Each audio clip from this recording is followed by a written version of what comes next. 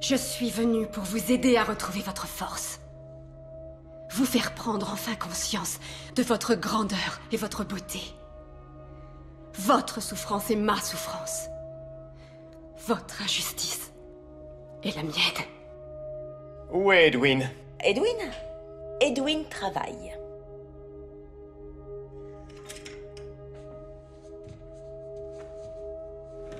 Et quand nous serons enfin libres, nous pourchasserons sans relâche chacun de ces esclavagistes.